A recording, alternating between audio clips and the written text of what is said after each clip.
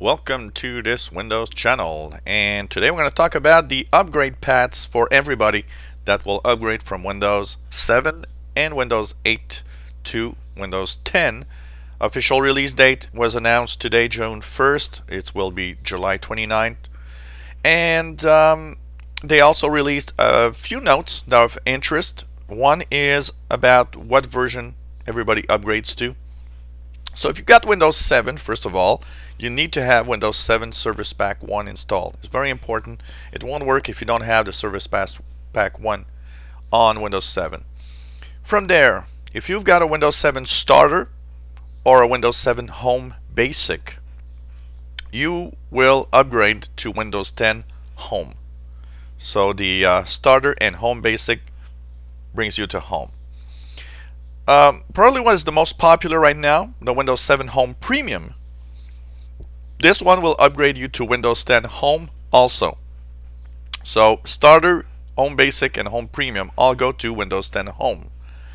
If you've got Windows 7 Professional and Windows 7 Ultimate, you are upgraded automatically to Windows 10 Professional. So Windows 10 Pro. So for the Professional and Ultimate versions, it's Windows 10 Pro.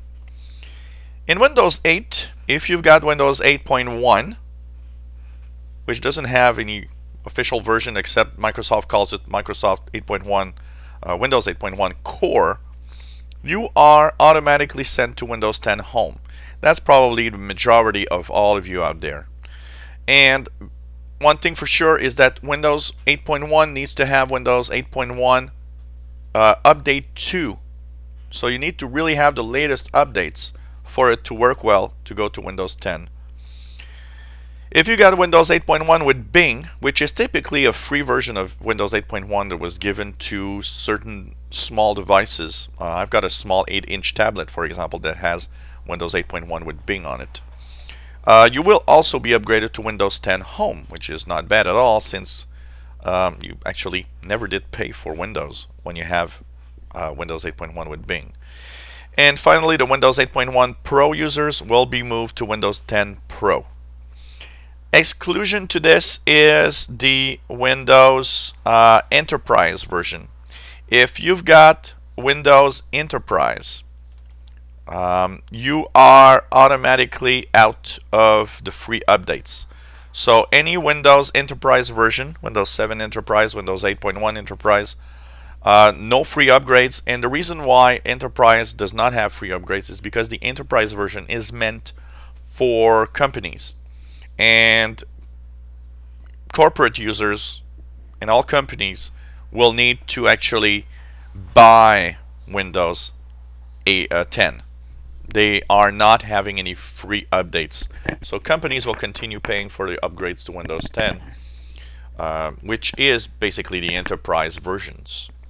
So uh, that's interesting to see. So, um, you know, this is really the official upgrade path that everybody will have. So depending on what version you have, you see here what version you'll actually be upgraded to.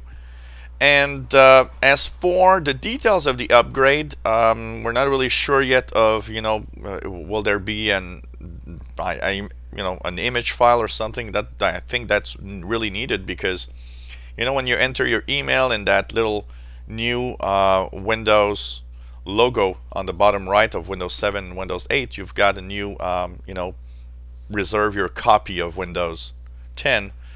Uh, there's nothing mentioned except for upgrades. So, um, you know, I hope we have image files so that we can actually upgrade machines from scratch and so on uh, on our computers uh, for sure. So uh, if you enjoy our videos, why not subscribe to our channel? You'll be informed when new videos are online. If you have any comments, questions, anything that um, you're not really sure of and want to know more about, let us know. And by the way, for the 1 millionth time, for everyone that's asking, it's not free for the first year only. It's free forever if you upgrade free in the first year. So if you upgrade in, you know, like in September, you'll have it free and it's going to stay free. You're to have it free forever. So thanks for watching. Hope you enjoy the videos.